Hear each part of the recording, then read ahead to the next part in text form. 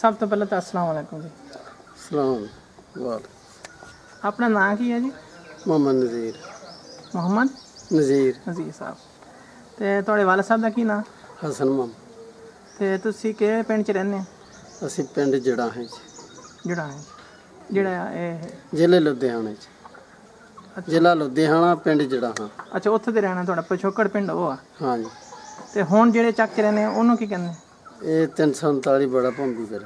ਅੱਛਾ ਜੀ ਠੀਕ ਹੈ ਤੇ ਇਹ ਦੱਸੋ ਵੀ ਉੱਥੇ ਪਿੱਛੇ ਜੁਰਾਹਾਂ ਪਿੰਡ ਦੇ ਵਿੱਚ ਕਿੰਨੇ ਕੁ ਘਰ ਮੁਸਲਮਾਨਾਂ ਦੇ ਸੀਗੇ? ਉਹ ਤਕਰੀਬਨ ਜੀ ਕੋਈ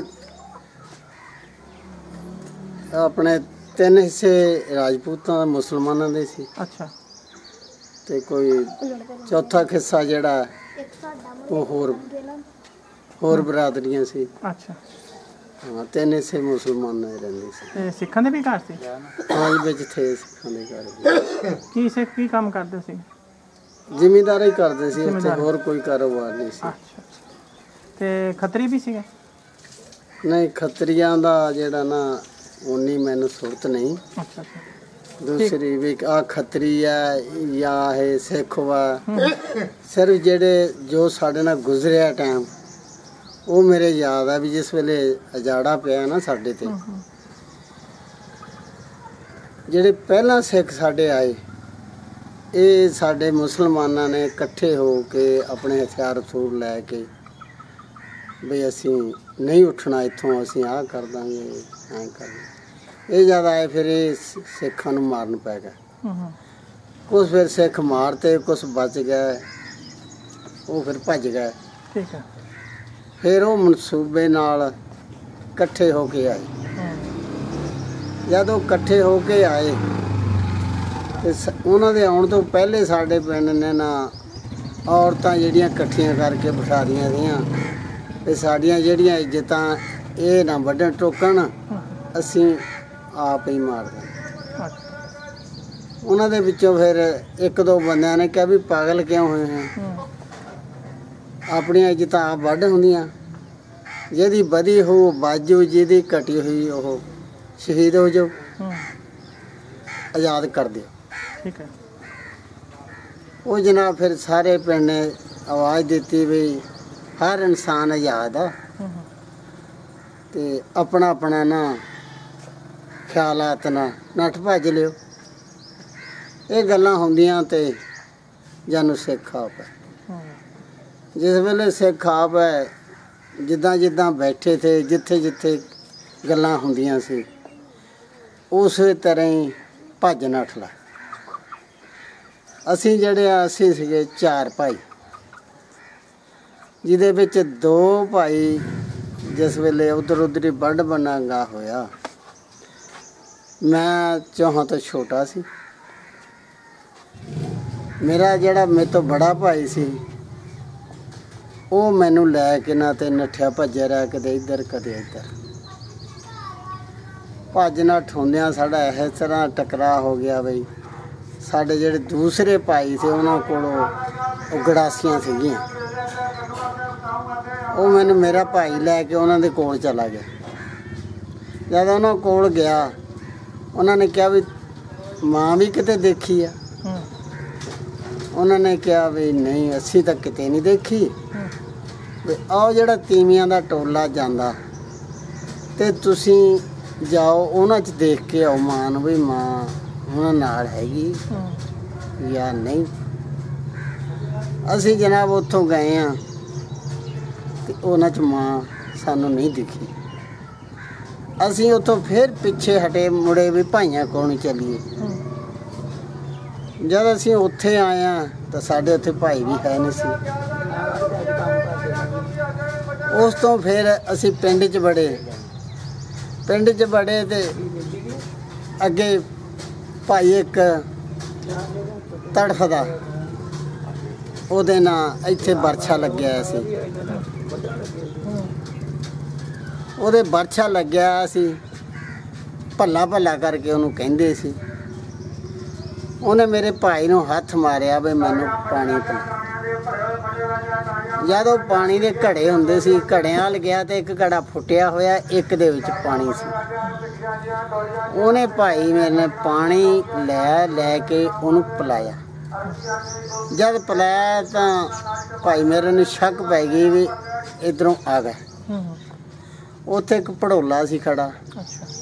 ਭਾਈ ਮੇਰੇ ਨੇ ਹਿੰਮਤ ਨਾਲ ਪਹਿਲਾਂ ਮੈਨੂੰ ਭੜੋਲੇ ਸਿੱਟਿਆ ਮਗਰ ਉਹ ਆਪ ਪੜਿਆ ਜਦ ਉਹਦੇ ਵਿੱਚ ਕੁਝ ਟਾਈਮ ਸਾਨੂੰ ਗੁਜ਼ਰਿਆ। ਉਹ ਆਪ ਪਹਿਲਾਂ ਨਿਕਲਿਆ ਫਿਰ ਮੈਨੂੰ ਉਹਨੇ ਬਾਹੋਂ ਫੜ ਕੇ ਬਾਹਰ ਖਿੱਚਿਆ। ਖਿੱਚ ਕੇ ਤਾਂ ਭੱਜ ਤੁਰੇ ਅਸੀਂ ਉੱਥੋਂ। ਉੱਥੇ ਹਾਤਾ ਸੀ ਬੜਾ ਸਾਰਾ। ਜਦ ਬੜੇ ਸਾਰੇ ਹਾਤੇ 'ਚ ਉੱਥੇ ਮੁਸਲਮਾਨ ਵੀ ਸੀ ਸਿੱਖ ਵੀ ਸੀ ਮੁਸਲਮਾਨ ਜਿਹੜੇ ਆ ਉਹ ਸਿੱਖਾਂ ਨੇ ਘੇਰੇ ਹੋਏ। ਜਦ ਅਸੀਂ ਵਿੱਚ ਚਲੇ ਗਏ ਬਾਹਰ ਆਉਣ ਦਾ ਟਾਈਮ ਨਾ ਮਿਲਿਆ। ਜਦ ਉੱਥੇ ਬਡਾਂਗਾ ਹੋਇਆ ਉੱਥੇ ਇੱਕ ਛੋਟਾ ਜਿਹਾ ਜਿਸ ਨੂੰ ਅਸੀਂ ਝਲਿਆਨੀ ਸੱਦ ਲੈਂਦੇ ਹਾਂ। ਉਹ ਭਾਈ ਮੇਰਾ ਮੈਨੂੰ ਬਾਹੋਂ ਫੜ ਕੇ ਨਾ ਖਿੱਚ ਕੇ ਉਧਰ ਨੂੰ ਉੱਤੇ ਨੂੰ ਚੜਨ ਲੱਗ ਗਿਆ। ਜਦ ਚੜਨ ਲੱਗਿਆ ਦੋ ਸਿੱਖ ਖੜੇ ਆ। ਉਹ ਭਾਈ ਦੇ ਮੇਰੇ ਦੇ ਬਰਛਾ ਮਾਰਨ ਲੱਗਿਆ। ਦੂਸਰੇ ਸਿੱਖ ਨੇ ਉਹਨੂੰ ਬਾਹੋਂ ਫੜ ਲਿਆ। ਹੂੰ। ਉਹਨੇ ਕਿਹਾ ਨਾ ਮਾਰੀ ਇਹ ਤਾਂ ਮੁੰਡੇ ਮੈਂ ਰੱਖੇ ਹੋਏ ਆ। ਉਹ ਕਿਤੇ ਸਿੱਖ ਨਾਲ ਮੇਰੇ ਬਾਪ ਦੀ ਮੁਲਾਕਾਤ ਸੀ। ਉਹਨੇ ਸਿੱਖ ਨੇ ਸਾਨੂੰ ਦੋਹਾਂ ਨੂੰ ਥੱਲੇ ਲਾ ਲਿਆ। ਠੀਕ। ਥੱਲੇ ਲਾ ਕੇ ਉਹ ਦੋਹਾਂ ਸਿੱਖਾਂ ਤੋਂ ਬਚਾ ਕੇ ਸਾਨੂੰ ਬਾਹਰ ਲਿਆ। ਬਾਹਰ ਲਿਆ ਕੇ ਕਹਿੰਦਾ ਹੁਣ ਤੁਸੀਂ ਜਾਓ ਭਾਜੇ ਇਹਨਾਂ ਨੇ ਤੁਹਾਨੂੰ ਮਾਰ ਦੇਣਾ। ਅਸੀਂ ਜਨਾਬ ਉੱਥੋਂ ਭੱਜ ਲਏ। ਭੱਜੇ ਅਸੀਂ ਬਾਹਰ ਖੇਤਾਂ ਚ ਆਏ ਤਾਂ ਬੁੜੀਆਂ ਤਿੰਨ ਚਾਰ ਜਾਂਦੀਆਂ। ਹੂੰ ਭਾਈ ਮੇਰਾ ਪੁੱਛਦਾ ਵੀ ਮੇਰੀ ਮਾਂ ਵੀ ਕਿਤੇ ਦੇਖੀ ਹੈ? ਉਹਨਾਂ ਨੇ ਕਿਹਾ ਵੀ ਮਾਂ ਨਹੀਂ ਅਸੀਂ ਤੁਹਾਡੀ ਦੇਖੀ ਬੁੜੀਆਂ ਨੇ। ਬਾਪ ਤੁਹਾਡਾ ਫਲਾਣਾ ਉਹ ਜਿਹੜੀ ਕਿੱਕਰ ਖੜੀ ਆ ਨਾ ਉਹ ਕਿੱਕਰ ਥੱਲੇ ਤੁਹਾਡਾ ਬਾਪ ਬੈਠਾ ਹੈ ਤਿੰਨ ਚਾਰ ਬੰਦੇ ਹੋਰ ਵੀ ਆ। ਤੇ ਕਮਾਦ ਦੇ ਵਿੱਚੋਂ। ਅਸੀਂ ਜਨਾਬ ਉੱਥੇ ਚਲੇ ਗਏ ਹਾਂ।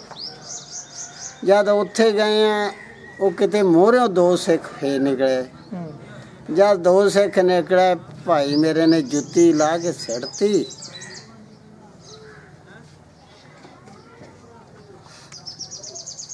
ਮੈਨੂੰ ਲੈ ਕੇ ਭੱਜ ਲਿਆ। ਜਾਂ ਭੱਜਿਆ ਜੁੱਤੀ ਉਹਨੇ ਸਿੱਟ ਦਿੱਤੀ। ਉਹ ਸਿੱਖ ਜਿਹੜਾ ਸਾਈਡ ਤੇ ਨੂੰ ਚਲੇ ਗਏ ਭਾਈ ਮੈਨੇ ਗੇੜਾ ਦਿੱਤਾ ਫਿਰ ਉਹ ਕੁਮਾਰ ਚ ਚਲੇ ਗਏ। ਜਦ ਅੱਗੇ ਗਏ ਤੇ ਸਾਡਾ ਉੱਥੇ ਬਾਪ ਵੀ ਤਿੰਨ ਚਾਰ ਬੰਦੇ ਹੋਰ ਵੀ।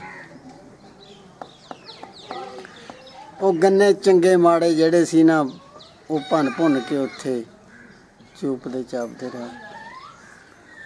ਉਤੋਂ ਫਿਰ ਅਸੀਂ ਤਿੰਨ ਹੋ ਗਏ ਬਾਪ ਹੋ ਗਿਆ ਦੋ ਅਸੀਂ ਹੋ ਗਏ ਅਸੀਂ ਉੱਥੋਂ ਭੱਜ ਤੁਰੇ।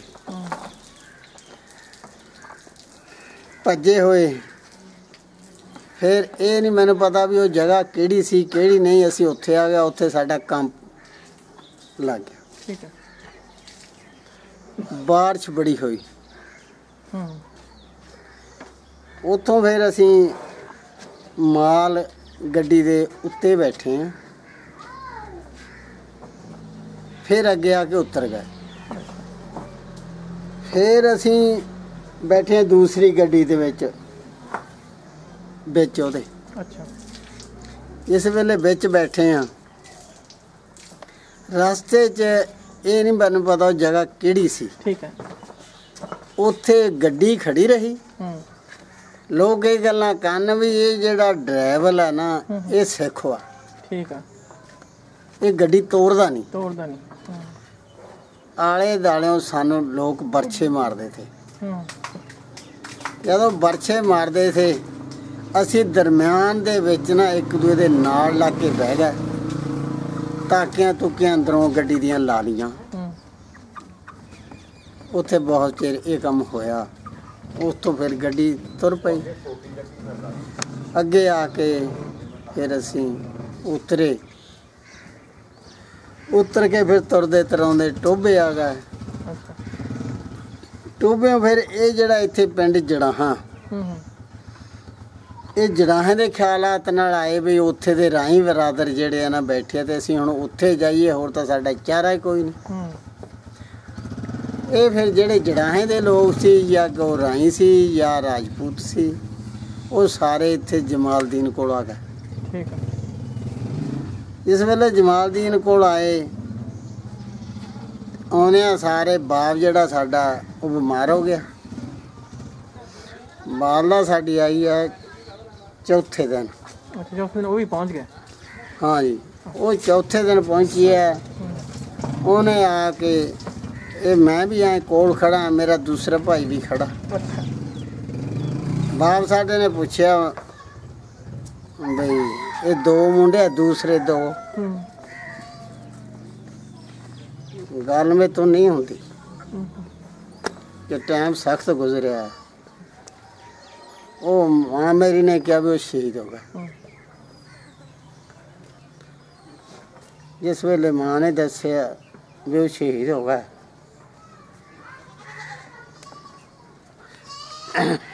ਤੇ ਬਾਪ ਸਾਡੇ ਦੀ ਜ਼ਬਾਨ ਬੰਦ ਹੋ ਗਈ। ਉਸ ਤਰ੍ਹਾਂ 15 20 ਦਿਨ ਬਾਅਦ ਬਾਪ ਸਾਡਾ ਫੌਤ ਹੋ ਗਿਆ। ਜਦੋਂ ਫੌਤ ਹੋ ਗਿਆ ਇੱਥੇ ਫਿਰ ਜ਼ਮੀਨਾਂ ਲਾਟ ਹੁੰਦੀਆਂ, ਪਿੱਛੋਂ ਕਾਗਜ਼ ਆ ਗਏ। ਸਾਨੂੰ ਫਿਰ 6 ਕਿੱਲੇ ਰਕਬਾ ਭੰਬੀ ਪਰੇ ਪੈ ਗਿਆ। ਭੰਬੀ ਪਰੇ ਪੈ ਗਿਆ, ਅਸੀਂ ਫਿਰ ਜੜਾਹਿਓਂ ਉੱਠ ਕੇ ਇਹਨਾਂ 6 ਕਿੱਲਿਆਂ ਤੇ ਆ ਗਏ। ਜੂਮਟ ਸਾਡੇ ਕੋਲ ਹੋਰ ਵੀ ਥੇ। ਹੂੰ ਇੱਥੇ ਰਕਬੇ ਜਿਹੜੇ ਤਕਸੀਮ ਹੋ ਗਏ ਥੇ ਇੱਥੇ ਜ਼ਮੀਨ ਨਹੀਂ ਸੀ ਪੈਂਦੀ।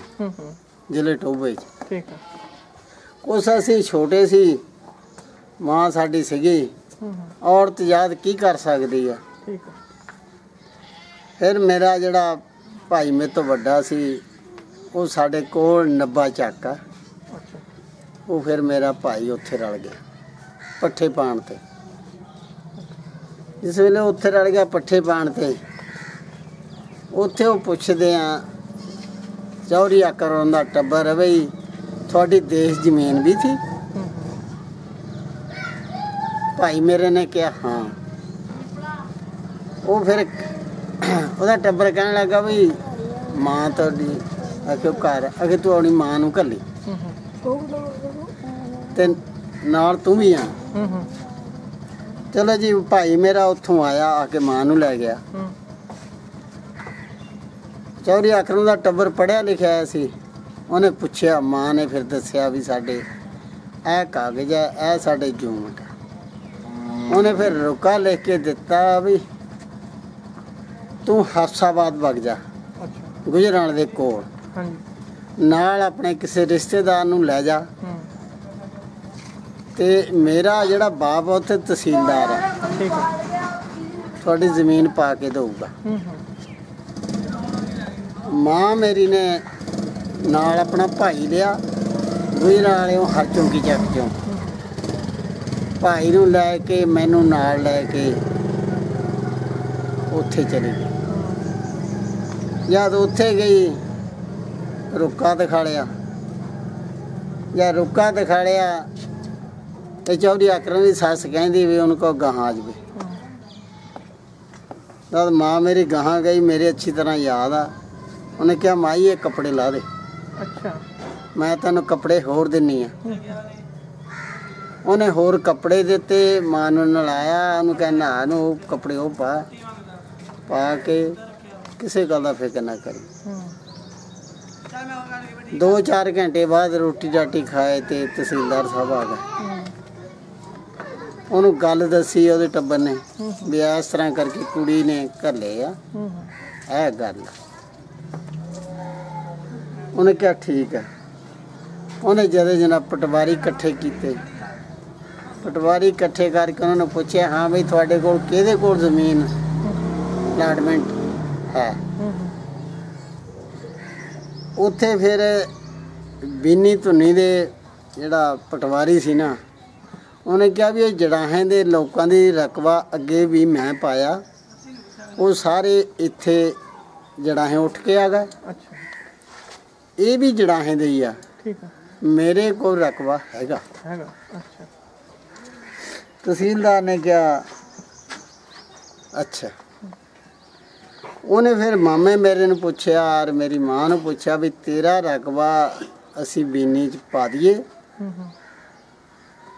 ਉੱਥੇ ਮਾਂ ਮੇਰੀ ਨੇ ਕਿਹਾ ਵੀ ਨਹੀਂ। ਇਹ ਜਿਹੜੇ ਮੇਰੇ ਹੱਕ ਸਫੀ ਆ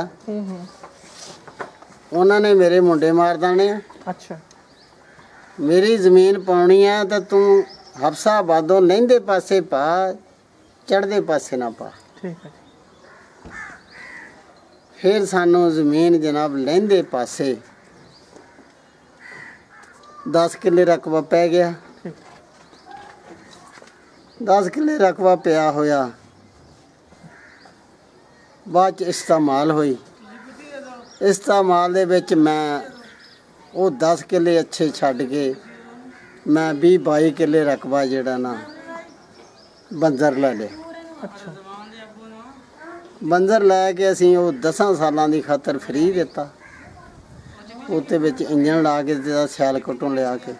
ਹੂੰ ਹੂੰ 10 ਸਾਲਾਂ ਬਾਅਦ ਫਿਰ ਠੇਕਾ ਆਉਂਦਾ ਰਿਹਾ ਸਾ 100 200 400 ਠੇਕਾ ਵੱਧਦਾ ਗਿਆ।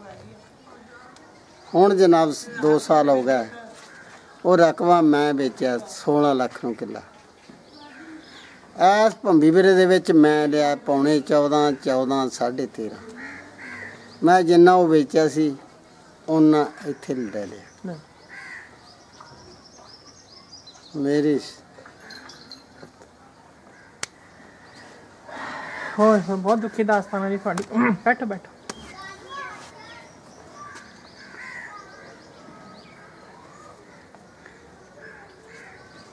ਇਹ ਗੱਲ ਮੇ ਤਾਂ ਬਹੁਤ ਤਾਨੀ ਨਹੀਂ ਮੇਰਾ ਬੜਾ ਭਾਈ ਫੌਤ ਹੋ ਗਿਆ ਨਾ। ਉਹਦਾ ਮੁੰਡਾ ਸੀ ਉਹ ਵੀ ਫੌਤ ਹੋ ਗਿਆ। ਅੱਛਾ ਇੱਕ ਬਹੁਤ ਨਾ ਮੇਰੇ ਜ਼ਿਹਨ 'ਚ ਇੱਥੇ ਬੈਠੇ ਬੈਠੇ ਇੱਕ ਸਵਾਲ ਪੈਦਾ ਹੋਇਆ ਸੀਗਾ ਕਿ ਵੀ ਉਹ ਮਤਲਬ ਹੁਣ ਜਿਹੜੇ ਘਰ ਦੇ ਬਜ਼ੁਰਗ ਮਰਦ ਹਜ਼ਰਾਤ ਸੀਗੇ ਜੀ। ਉਹਨਾਂ ਨੇ ਹਰ ਇੱਕ ਨੂੰ ਵੀ ਬਜਾਏ ਕਿ ਪਹਿਲੇ ਫੈਸਲਾ ਕਰਿਆ ਵੀ ਅਸੀਂ ਇਹਨਾਂ ਨੂੰ ਆਪ ਹੀ ਕਤਲ ਕਰ ਦਿੰਦੇ ਹਾਂ ਕਿ ਵੀ ਦੁਸ਼ਮਣ ਸਾਡੀ ਇਸ ਤਰ੍ਹਾਂ ਨਾ ਲੈ ਕੇ ਜਾਵੇ। ਹਾਂਜੀ।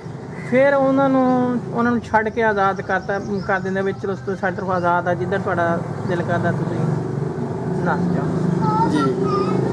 ਵਾਲਦ ਸਾਹਿਬ ਵੀ ਤੁਹਾਡੇ ਨੱਸ ਗਏ ਦੌੜ ਗਏ। ਜੀ। ਵਾਲਦਾ ਵੀ ਆਪਣੀ ਜਾਨ ਬਚਾਉਣ ਲਈ ਗਏ ਤੁਸੀਂ ਵੀ। ਬਚੇ। ਘਰ ਦੇ ਵਿੱਚ ਕਦੀ ਇਸ ਗੱਲ ਤੇ ਦੁਬਾਰਾ ਫਿਰ ਜ਼ਿਕਰ ਨਹੀਂ ਜਦੋਂ ਫਿਰ ਦੁਬਾਰਾ ਇਕੱਠੇ ਹੋ ਕੇ ਵੀ ਛੱਡ ਕੇ ਇਸ ਗੱਲ ਤੇ ਬੁਰਾ ਵੀ ਲੋਕੀ ਏਦਾਂ ਛੱਡ ਕੇ ਆ ਜਾਂਦੇ ਕੋਈ ਆਪਣਾ ਬੱਚਿਆਂ ਨੂੰ ਤਾਂ ਛੱਡ ਕੇ ਨਹੀਂ ਨਾਦਾ ਕਹਿੰਦਾ ਵੀ ਚਲੋ ਠੀਕ ਹੈ ਅਸੀਂ ਅਸੀਂ ਮਾਰੇ ਜਾਵਾਂਗੇ ਤਾਂ ਸਾਰੇ ਮਾਰੇ ਜਾਣਗੇ ਜੇ ਬਚ ਜਾਓਗੇ ਤਾਂ ਸਾਰੇ ਬਚ ਜਾਓ। ਉੱਥੇ ਸਾਡੇ ਤੇ ਹਾਲਾਤ ਇਹ ਗੁਜ਼ਰਿਆ ਕਿ ਤੇਰੇ ਪੈਰਾਂ 'ਚ ਜੁੱਤੀ ਨਹੀਂ ਤੂੰ ਜੁੱਤੀ ਨਹੀਂ ਪਾ ਸਕਿਆ। ਤੇਰਾ ਬੱਚਾ ਉੱਡੀ ਦੂਰ ਖੜਾ ਤੂੰ ਉਹ ਬੱਚੇ ਨੂੰ ਨਹੀਂ ਲੈ ਕੇ ਕਿਸੇ ਪਾਸੇ। ਸਾਡੇ ਹਾਲਾਤ ਵਜ਼ਨ ਹੈ ਸਾਡੇ ਤੇ ਸਿੱਖਾਂ ਨੇ ਇਤਨਾ ਪਾਇਆ ਸਾਡੇ ਤੇ ਵਡਾਂਗਾ ਹੀ ਬਹੁਤ ਹੋਇਆ। ਹਾਂਜੀ। ਬਾਰਿਸ਼ ਹੁੰਦੀ ਸੀ। ਆ ਜਿਵੇਂ ਮੱਛੀਆਂ ਨਹੀਂ ਪਈਆਂ ਹੁੰਦੀਆਂ ਬਾਹਰ ਕੱਢ ਕੇ ਦਰਿਆ ਚੋਂ। ਹਾਂਜੀ ਹਾਂਜੀ। ਇਸ ਤਰ੍ਹਾਂ ਸਾਡੇ ਜੜਾਂ 'ਚ ਲਾਸ਼ਾਂ ਪਈਆਂ ਸੀ। ਇੰਨਾ ਵਡਾਂਗਾ ਹੋਇਆ ਸੀ। ਤੇਰੇ ਪੈਸੇ ਘਰ ਪਏ ਆ ਨਾ ਤੇਰੇ 'ਚ ਇੰਨੀ ਹਿੰਮਤ ਨਹੀਂ ਪਈ ਵੀ ਮੈਂ ਘਰੋਂ ਜਾ ਕੇ ਆਪਣੇ ਪੈਸੇ ਚੱਕ ਲਾਂ ਹੋਰ ਤਾਂ ਚੀਜ਼ ਵੱਧਦੀ ਆ। ਨਾ। ਅੱਛਾ ਉੱਥੇ ਫਿਰ ਕੋਈ ਏਦਾਂ ਕੋ ਹੋਏ ਵੇ ਉਹਨਾਂ ਨੇ ਸਿੱਖਾਂ ਨੇ ਕੁੜੀਆਂ ਚੁੱਕੀਆਂ ਹੋਣ? ਇਹਦੇ ਮੁਤਲਕ ਕੁੜੀਆਂ ਦਾ ਜਾਂ ਜੋ ਕੁਛ ਦਾ ਜਣੀ ਇਹ ਹਾਲਾਤ ਸਾਡੇ ਪਿੰਡ ਦੇ ਨਹੀਂ ਮਾਲੂਮ ਹੋਏ। ਵਡਾਂਗਾ ਮਾਲੂਮ ਹੋਇਆ ਕਿਉਂ ਕਿ ਸਾਡੇ ਪਿੰਡ ਦੀ ਗੱਲ ਦਾ ਪਤਾ ਲੱਗ ਜਾਂਦਾ ਵੀ ਫਲਾਣੇ ਦੀ ਕੁੜੀ ਨੂੰ ਕੋਈ ਲੈ ਸਿੱਖ ਲੈ ਗਿਆ ਜਾਂ ਫਲਾਣੇ ਦੀ ਤੀਵੀਂ ਨੂੰ ਸਿੱਖ ਲੈ ਗਿਆ। ਇਹ ਕੰਮ ਸਾਡੇ ਨਹੀਂ ਹੋਇਆ ਸਾਡੇ ਵਡਾਂਗਾ ਹੋਇਆ। ਠੀਕ ਆ। ਹਾਂਜੀ। ਇਹ ਅਸੀਂ ਇਸ ਗੱਲੋਂ ਵਡਾਂਗਾ ਹੋ ਗਿਆ ਹੋ ਗਿਆ ਮਗਰ ਸਾਡੀ ਇੱਜ਼ਤ ਕਿਸੇ ਸਿੱਖ ਦੇ ਹੱਥੀ ਨਹੀਂ ਲੱਗੀ। ਚਲੋ। ਅੱਛਾ ਕਦੀ ਫਿਰ ਹੁਣ ਘਰ ਬੈਠੇ ਬੈਠੇ ਕਦੀ ਪੁਰਾਣਾ ਵੇਲਾ ਯਾਦ ਆਇਆ? ਪੁਰਾਣਾ ਵੇਲਾ ਇਸ ਕਰਕੇ ਨਹੀਂ ਯਾਦ ਆਇਆ ਕਿ ਮੇਰੀ ਮੈਨੂੰ ਉਨੀ ਸੁਰਤੇ ਨਹੀਂ ਸੀ। ਹੂੰ। ਉਹ ਵਡਾਂਗਾ ਹੀ ਯਾਦ ਆਉਂਦਾ ਪੁਰਾਣਾ ਵਕਤ ਕੀ ਯਾਦ ਆਉਣਾ? ਠੀਕ ਹੈ ਕਿਉਂ? ਕਿ ਸੁਰਤੇ ਇੰਨੀ ਸੀ ਤਕਲੀਫ ਇਹ ਦੇਖਿਆ ਸੁੱਖ ਤਾਂ ਦੇਖਿਆ ਨਹੀਂ। ਫਿਰ ਤਾਂ ਤੁਹਾਡੀ ਵਾਲਦਾ ਨੇ ਮਿਹਨਤ ਕਰ ਕਰ ਕੇ ਤੁਹਾਨੂੰ ਮਤਲਬ ਇਹਨਾਂ ਪਾਲਿਆ ਪੋਸਿਆ। ਹਾਂ ਜੀ ਹਾਂ। ਉਹ ਕਾਫੀ ਜ- ਤਕੜੀ ਔਰਤ ਸੀਗੀ ਤੁਹਾਡੀ ਵੀ ਮਾਂ ਜਿਹੜੀ। ਹਾਂ ਜੀ ਠੀਕ ਠਾਕ ਸੀ। ਹਾਂ। ਹੁਣ ਸਾਡਾ ਭੰਮੀ ਬ੍ਰਿਜ ਵੀ ਮਕਾਨ ਹਟਮਾ ਸੀ। ਜਿਸ ਵੇਲੇ ਬਾਰਿਸ਼ ਬੂਰਸ਼ ਹੋਣੀ ਇਹ ਜਿੱਥੇ ਹੁਣ ਬੈਠੇ ਆ। ਇਹ ਵੀ ਛੋਟੇ ਛੋਟੇ ਤੇ ਸਾਰੇ ਤੇ ਇੱਥੇ ਇਹਨਾਂ ਦੀ ਮਾਂ ਕੋਲ ਆ ਜਾਣਾ ਸਾਨੂੰ ਉਂਗਲੀਆਂ ਫੜ ਕੇ। ਇੱਥੇ ਏਦਾਂ ਸਾਰੇ ਨਿਆਣੇ ਨਿੱਕੇ ਮੋਟੇ ਇਕੱਠੇ ਕੁੱਠੇ ਹੋ ਕੇ ਬੈਠੇ ਰਹਿਣਾ। ਜਿਸ ਵੇਲੇ ਬਾਰਿਸ਼ ਹੋ ਜਾਣੀ, ਸਾਨੂੰ ਮਾਂ ਨੇ ਉਂਗਲੀ ਲਾ ਕੇ ਫਿਰ ਘਰ ਨੂੰ ਲੈ ਜਾਣਾ। ਫਿਰ ਇਹ ਸੀ ਕਿ ਮਾਈ ਸਾਡੀ, ਬਾਹਰ ਸਾਡੇ ਦਰਾਂ ਮੋਰੇ ਦਰਖਤ ਹੁੰਦੇ ਸੀ। ਉੱਥੇ ਰਜਾਈ ਘੋਲੇ ਸਿੱਟ ਕੇ ਤੇ ਉੱਥੇ ਲੈ ਕੇ ਬਹਿ ਜਾਣਾ, ਮਤਲਬ ਘਰ ਨਾ, ਰਾਤ ਨੂੰ ਅੰਦਰ ਬਹਿਣਾ। ਕਿਉਂ? ਕਿ ਬਾਹਰ ਆਵਾਜ਼ ਸੁਣਦੀ ਰਹਿਣਾ। ਇਧਰੋਂ ਕੋਈ ਬੋਲਦਾ, ਇਧਰੋਂ ਕੋਈ ਬੋਲਦਾ ਕੋਈ ਬੋਲਦਾ। ਅਗਰ ਤੈਨੂੰ ਪਤਾ ਅਖਰ ਔਰਤ ਦੀ ਜਾਤ ਫਿਰ ਆਪਣਾ ਬਚ ਵਿਚਾਰ ਨਾਲੇ ਅਸੀਂ ਤੇ ਛੋਟੇ ਸੀ। ਅੱਛਾ ਤੇ ਤੁਹਾਡਾ ਫਿਰ ਵਿਆਹ ਕਿੰਨੀ ਉਮਰ 'ਚ ਹੋਇਆ ਸੀ? ਮੇਰਾ ਤਾਂ ਵਿਆਹ ਹੋਇਆ ਹੋ ਜੀ ਮੇਰਾ ਖਿਆਲ 32 33 ਸਾਲ ਦਾ ਹੋ ਗਿਆ। ਅੱਛਾ। ਹਾਂ। ਆਪਣੇ ਰਿਸ਼ਤੇਦਾਰਾਂ 'ਚ ਹੋਇਆ ਸੀਗਾ? ਇੱਥੇ ਪਿੰਡ 'ਚ ਨਹੀਂ ਨੋਬੜ ਸੀ ਇੱਥੇ ਪਿੰਡ 'ਚ ਹੀ ਹੋਇਆ। ਪਿੰਡ 'ਚ ਹੀ ਹੋ ਗਿਆ। ਹਾਂ। ਠੀਕ ਹੈ। ਉਸਨੇ ਕੋਈ ਰਸਮਾਂ ਰਸਮਾਂ ਕੀਤੀਆਂ ਸੀ ਜਾਂ ਸਾਦਗੀ ਨਾਲ ਹੀ ਬਸ ਰੁਕਤੀ ਹੋ ਗਈ? ਬਿਲਕੁਲ ਸਾਦਗੀ ਨਾਲ ਇਹ ਹੈ ਕਿ ਇਹ ਘਰ ਦਾ ਜਿਹੜੇ ਇਹਨਾਂ ਦਾ ਇਹਨਾਂ ਚ ਜਿਹੜਾ ਇਹਨਾਂ ਦਾ ਬੜਾ ਭਾਈ ਸੀ। ਅੱਛਾ। ਹੂੰ ਕਰੋ ਕਰੋ ਗੱਲ ਤੁਸੀਂ ਆਪਣੀ। ਉਹਦਾ ਦਖਲ ਸੀ। ਅੱਛਾ। ਇਹ ਆ ਵੀ ਬਸ ਸਾਦਗੀ ਨਾਲ ਇਹ ਜੋ ਕੁਝ ਕੀਤਾ। ਸਾਦਗੀ ਨਾਲ ਹੀ ਕੀਤਾ। ਨਾਲੇ ਉਦੋਂ ਸਾਦਗੀ ਨਾਲ ਹੀ ਹੋਣਾ ਸੀ। ਹੂੰ ਹੂੰ। ਕੋਲ ਕੀ ਸੀ? ਠੀਕ ਹੈ। ਇਹ ਹੈ ਵੀ ਜਾਨੀ ਇਹ ਜਿਹੜੇ ਇਹ ਕਾਫੀ ਘਰ ਹੈ। ਇਹ ਆਪ ਨੱਠ ਭੱਜ ਕਰਕੇ ਉਦੋਂ ਰਿਵਾਜ ਸੀ ਨਕਲਾਂ ਦਾ। ਅੱਛਾ। ਇਹ ਫਿਰ ਮੈਨੂੰ ਕੋਈ ਨਹੀਂ ਐਵੇਂ ਕਮਾ ਮੈਂ ਪਤਾ ਨਾ ਕੋਈ ਮੈਂ ਪੈਸਾ ਦਿੱਤਾ ਨਾ ਮੈਂ ਕੋਈ ਲਿਆ ਨਾ ਕੀਤਾ। ਇਹ ਲੈਲਪੁਰੋਂ ਜਾ ਕੇ ਆਪ ਇਹ ਨਕਲੀ ਲੈ ਆਏ ਸੀ। ਅੱਛਾ।